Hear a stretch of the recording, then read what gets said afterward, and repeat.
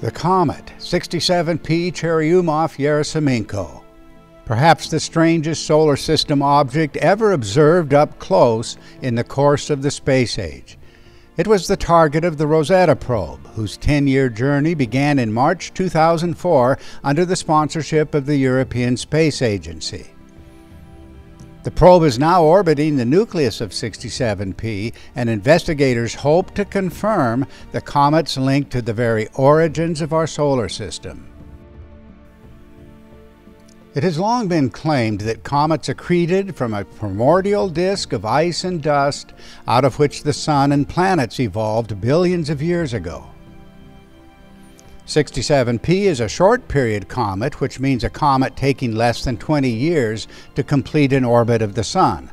The orbit has apparently changed recently due to interactions with Jupiter. Its current orbital period is just under six and a half years. The Rosetta mission was designed to answer critical questions. What is the material composition of the nucleus? What forces have acted on the nucleus to produce its unique shape? How have its surface features evolved? And what is its dynamic relationship to the sun and the solar wind?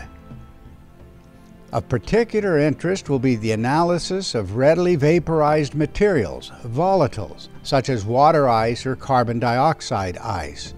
The popular model of comets today requires detectable volatiles because it assumes that comets become active due to warming by the sun. Absence of such volatiles, either on the surface or exploding from beneath the surface, would bring an end to a theory that has dominated comet science for more than 60 years.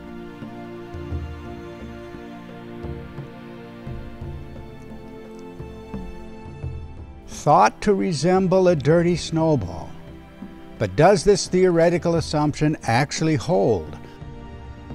What would it mean, for example, if the Rosetta mission brought comet theorists face to face with a dry rock in space?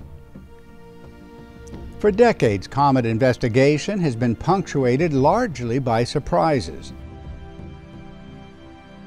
But there is a well supported alternative.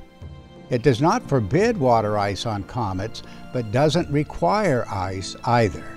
It is the electric comet hypothesis, and it anticipates some profound surprises in the appearance and the behavior of Comet 67P.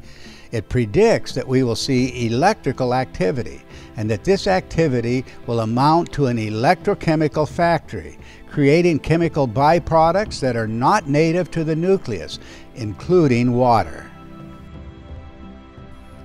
As the probe drew close to the nucleus of 67P, the shock to mission scientists could not be contained.